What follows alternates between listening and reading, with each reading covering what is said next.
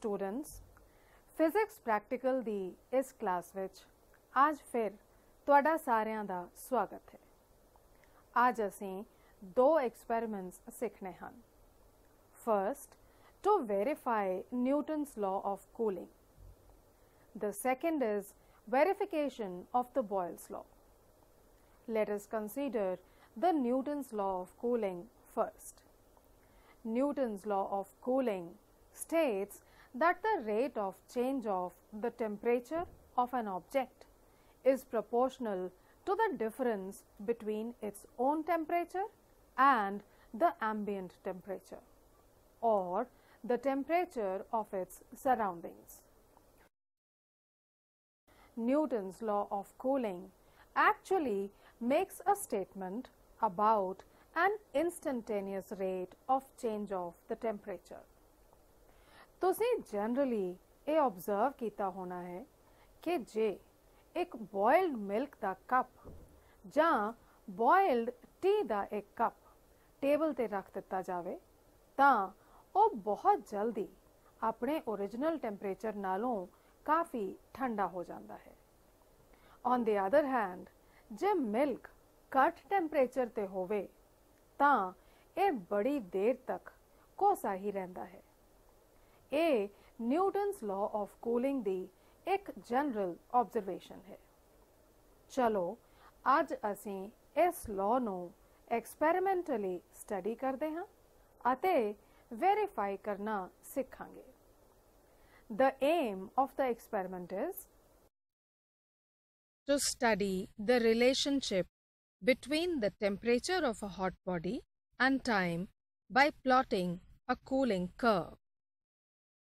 The apparatus that we need to perform the experiment is a stopwatch, a clamp a stand, two thermometers, and Newton's law of cooling apparatus, which is a double walled enclosure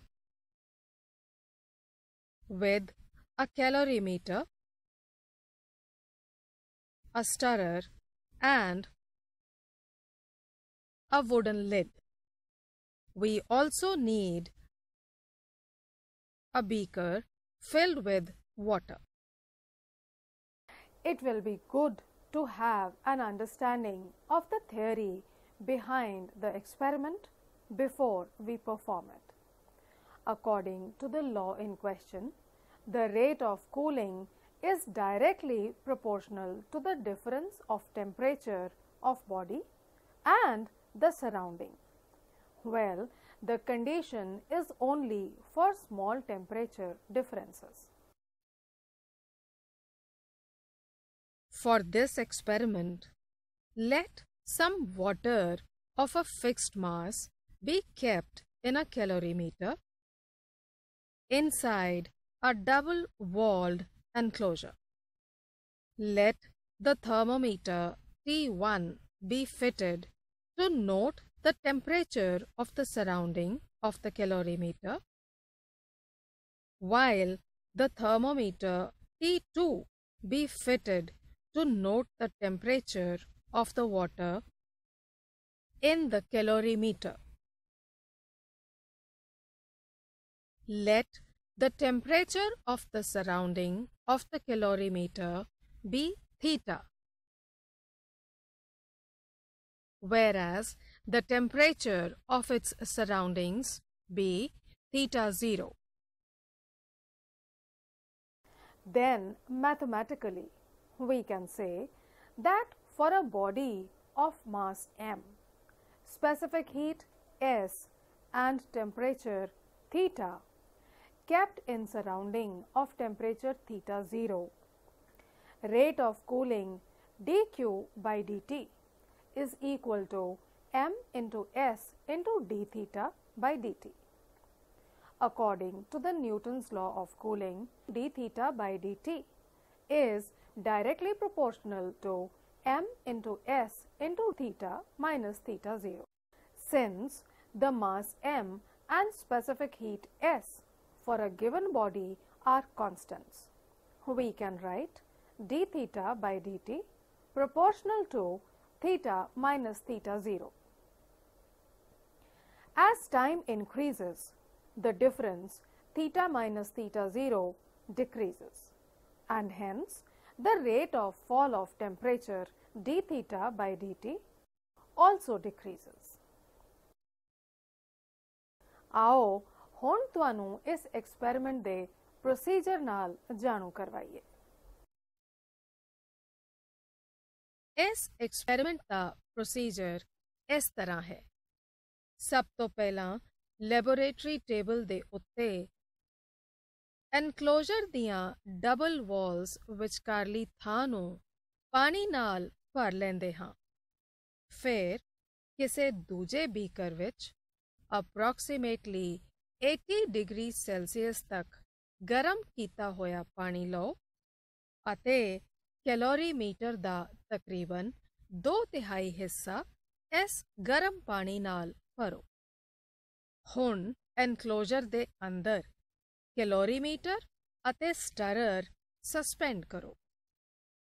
ਇਸ ਨੂੰ ਇਸ ਦੀ wooden lid ਨਾਲ cover ਕਰੋ, ਜਿਸ ਵਿੱਚ ਇੱਕ ਛੇਕ ਕੀਤਾ ਹੁੰਦਾ ਹੈ। ਨਾਲ ਹੀ ਇੱਕ ਕਲੈਂਪ ਐਂਡ ਸਟੈਂਡ ਦੀ ਮਦਦ ਨਾਲ ਇੱਕ ਥਰਮੋਮੀਟਰ ਐਨਕਲੋਜ਼ਰ ਵਾਟਰ ਅਤੇ ਦੂਜਾ ਕੈਲੋਰੀਮੀਟਰ ਵਾਟਰ ਵਿੱਚ ਸਸਪੈਂਡ ਕਰੋ ਹਾਂ ਸਟਾਪਵਾਚ ਦਾ ਜ਼ੀਰੋ ਸੈੱਟ ਕਰਨਾ ਅਤੇ ਇਸ ਦਾ ਲੀਸਟ ਕਾਊਂਟ ਨੋਟ ਕਰਨਾ ਨਾ ਭੁੱਲ ਜਾਣਾ ਹੁਣ ਬਿਲਕੁਲ ਐਸੇ ਇਨਸਟੈਂਟ ਤੇ ਐਨਕਲੋਜ਼ਰ ਵਿਚਲੇ ਪਾਣੀ ਦਾ ਟੈਂਪਰੇਚਰ ਨੋਟ ਕਰੋ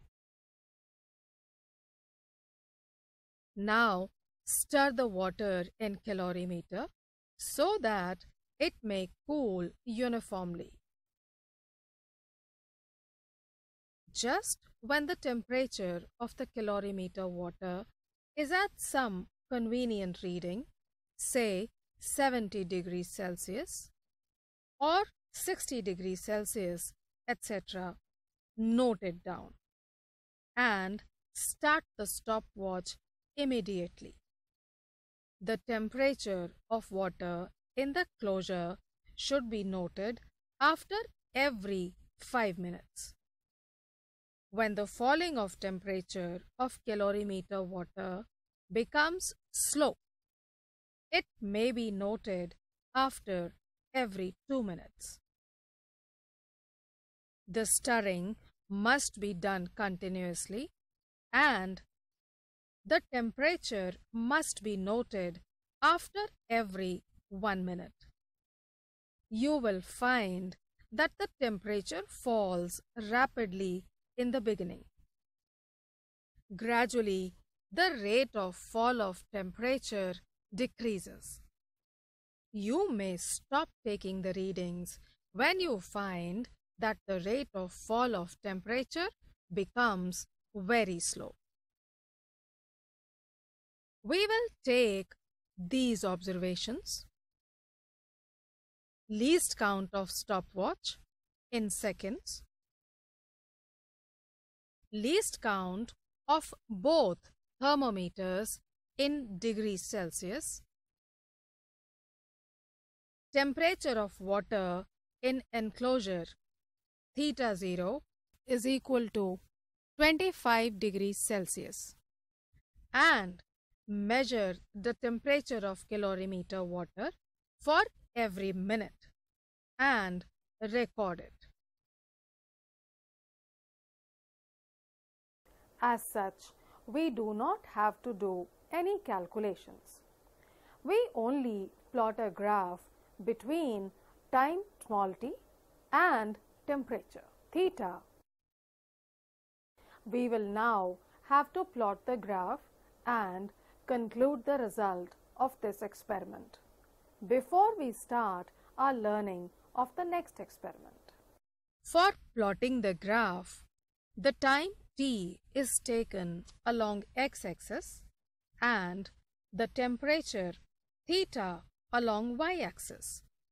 Of course, an appropriate scale is to be chosen before marking the two axes. The graph comes as shown here. It is commonly called as the cooling curve of the liquid. Now, the expected result is that the temperature falls quickly in the beginning and then slowly as difference of temperature goes on decreasing. Then the precautions that we are expected to follow here are the double-walled enclosure should be used to maintain the surrounding at a constant temperature and stirring should remain continuous for uniform cooling. The most probable source of error is that the temperature of the surrounding may change. Students, having learned to do the experimental verification of the Newton's law of cooling, we are now supposed to start with our next experiment verification of the Boyle's law for today. This experiment is related to the kinetic theory of gases. With the help of kinetic theory of gases, it has been found that if the temperature of the given mass of a gas is kept constant, its volume is inversely proportional to its pressure, which is the Boyle's law. It can also be said as keeping the temperature constant. When we increase the pressure of the gas, the number of collisions per unit area increases and its volume decreases. Today, we have to verify this fact experimentally. In simple words, I can say we will verify the Boyle's law experimentally. The objective for the second experiment for today is to study the variation in volume with pressure for a sample of air at constant temperature by plotting graphs between pressure and volume as well as between pressure and reciprocal of volume. All the apparatus that we will require is the Boyle's law apparatus, a Fortin's barometer, a pair of set squares, a thermometer and a plumb line. Before we actually start with the experiment, let me update you with some background theory of this experiment. Since the statement of the Boyle's law says that the pressure P of an enclosed gas for a given mass of the gas is proportional to its volume V provided that the temperature of the gas remains constant. Thus, for an enclosed gas, at constant temperature capital T, P is directly proportional to 1 by V or a simple outcome of this equation is that P into V is a constant. First of all, to be able to take the required and appropriate readings, we will have to understand how to read the Boyle's law apparatus. So, first have a careful look at this diagram of the apparatus used to verify the Boyle's law. The tube A becomes non-uniform near its top.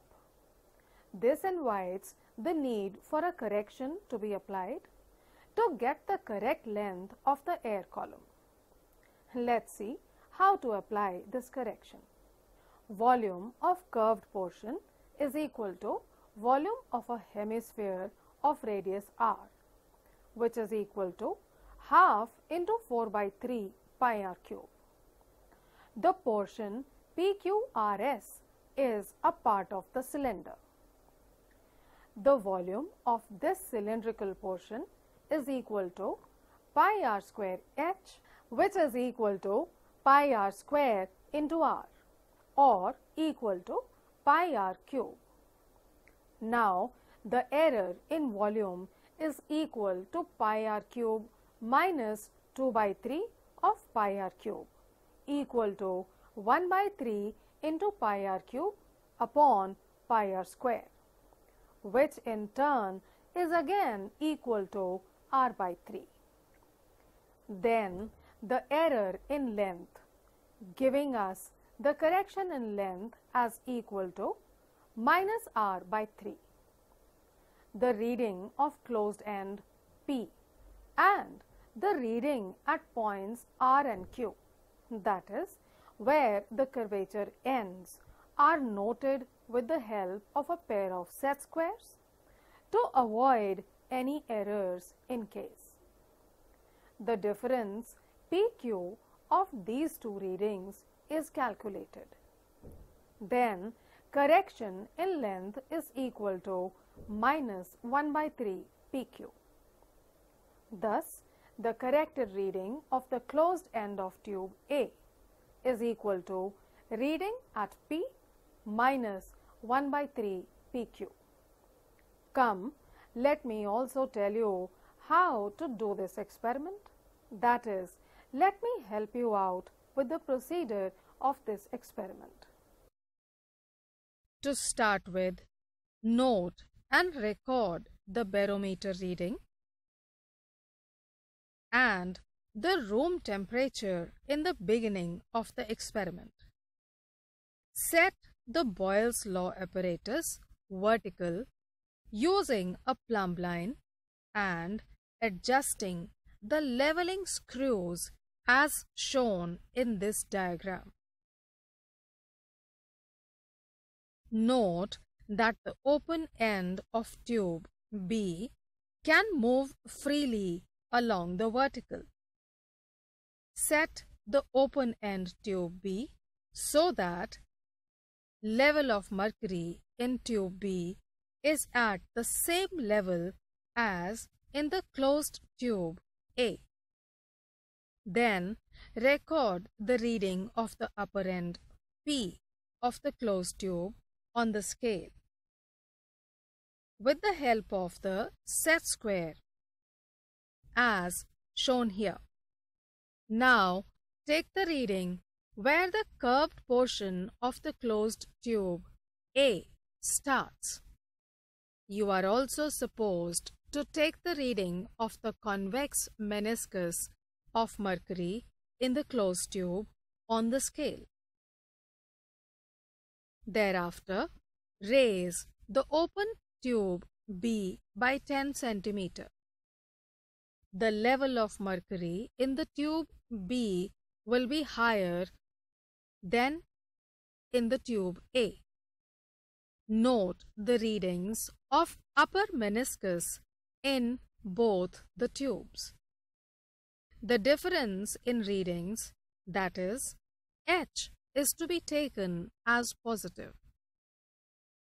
The same procedure is to be repeated for at least two more observations by changing the position of B when level of mercury in tube B is higher than in tube A. Next, lower the open end tube B by 10 centimeter such that the level of mercury in this tube B is lower than the level in tube A. Note down the readings for level of mercury in both of the tubes. The difference of these readings, that is, H, is now taken as negative. Take two more similar readings by changing the position of tube B. When the level of mercury in tube B may be lower than that in tube A. Finally, observe and record the room temperature and the Fortin's barometer reading at the end of the experiment. You are now in a position to draw a graph between P along x axis and 1 by V along y axis. Well, this is to be done by selecting an appropriate scale. The graph will appear somewhat like this. Let me also narrate the observations that you will need to take and record in your practical notebooks. Room temperature in the beginning of the experiment in degrees Celsius. Then note the Vernier constant of the barometer scale in centimeter. Also take the barometer reading P1 in the beginning and the barometer reading P2 at the end also in centimeter. Hence, the mean atmospheric pressure PA is equal to P1 plus P2 upon 2 equal to PA in centimeter. Finally, take the reading at the top end P of the closed tube x in centimeter and the reading at point Q where the curvature ends y also in centimeter. Now, find out the difference x minus y also in centimeter and hence the correction to be applied which is 1 by 3 into the difference of x and y. Therefore, the correct reading of the top end is equal to x minus 1 by 3 into the difference of x and y. Let this be equal to a centimeter. Now, say the reading of the level in the closed tube is equal to b centimeter. We are also to take down the reading for the room temperature at the end of the experiment in degrees Celsius. We are now at the stage of plotting the graphs and drawing conclusions. First of all, we plot a graph between pressure and volume by taking pressure P along x axis and volume V along y axis. As you can see here, the graph should be seen in the shape of a hyperbola as here. Second, plot a graph between P and 1 by V by taking P along x axis and 1 by V along y axis as it is visible here. This graph is a straight line. And now, let us see what is the result. You must agree with me that from both the graphs, the conclusion is the same. That is, P is proportional to 1 by V. This also confirms that PV is equal to a constant. Hence, the Boyle's law is verified. Before we end up with this experiment as well, there are a good number of precautions that we should be taking care of while performing it. Let me list. Please note them carefully. Mercury should not stick to the sides of the tube. The apparatus should be kept in vertical position. The reading of the mercury level should always be taken at the upper meniscus. The reading of the pressure and temperature should be taken both before and after the experiment. And correction must always be applied. Take the readings for both the positive and the negative heads of pressure. Readings should be taken with the help of set squares. The most common sources of error are the closed tube may not have a uniform cross section throughout. Temperature may not remain the same throughout the experiment. The atmospheric pressure may not remain constant throughout the experiment. Dear students, now it is the turn to introduce you to some relevant questions that may be asked in Viva. I'll first relate my questions to the verification of the Newton's law of cooling. My first question is for the verification of Newton's law of cooling, what if we plot a graph between time t and temperature difference theta minus theta 0?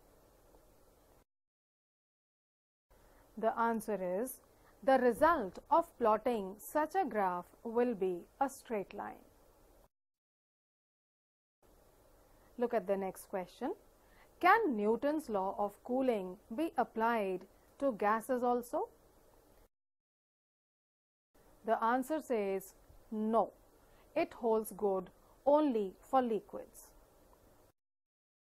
The next question is define radiation as a mode of heat transmission. The answer is the radiation is the mode of transmission of heat from a hot body to a cold body or surroundings without requiring an intervening medium. And now let me put some questions related to the verification of the Boyle's law as well. The first question relevant to this experiment is what do you mean by atmospheric pressure? The answer is there is a thick envelope of air around the earth which extends up to large distances. The weight of this huge amount of air exerts pressure. The force exerted per unit area by the atmospheric air is called the atmospheric pressure. The next question is why is it recommended to use dry air for the experimental verification of Boyle's law? The answer is if the gas used for this experiment contains moisture. It may condense during compression and the result may have an error in it. Another question is why is the tube in Boyle's law apparatus filled with mercury? The answer is it is because the pressure difference P is in terms of mercury levels in the tube A and tube B. This difference added algebraically to atmospheric pressure gives the pressure of air in tube A directly in centimeter of mercury. Look at this question. Why is there a pressure difference between the two sides of a curved liquid surface? The answer is a curved free liquid surface has more area. It tends to become flat to minimize the surface area due to surface tension. Thus, the pressure is not the same above and below the liquid surface. ਮੈਨੂੰ ਉਮੀਦ ਹੈ ਕਿ ਤੁਸੀਂ ਅੱਜ ਸਿਖਾਏ ਗਏ ਦੋਵੇਂ experiments ਦਾ ਪੂਰਾ ਪੂਰਾ ਲਾਭ ਲੈਣ ਦੇ ਨਾਲ-ਨਾਲ ਇਹਨਾਂ ਨੂੰ ਇੰਜੋਏ ਵੀ ਕੀਤਾ ਹੋਣਾ ਹੈ ਅਗਲੀ ਕਲਾਸ ਵਿੱਚ ਹੋਰ ਨਵੇਂ ਟੌਪਿਕ ਦੇ ਨਾਲ ਫਿਰ ਮਿਲਾਂਗੇ 算了吧